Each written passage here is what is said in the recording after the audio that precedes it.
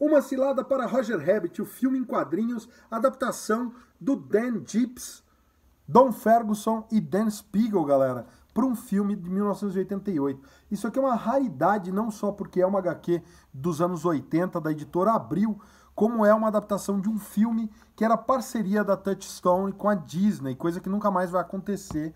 E você tinha ali pela primeira vez no cinema, né, não pela primeira vez, mas feita de uma maneira mais abrangente, a mistura entre pessoas e cartoons, galera. Então, como tá aqui na capa da HQ, que é um frame do, do filme, né?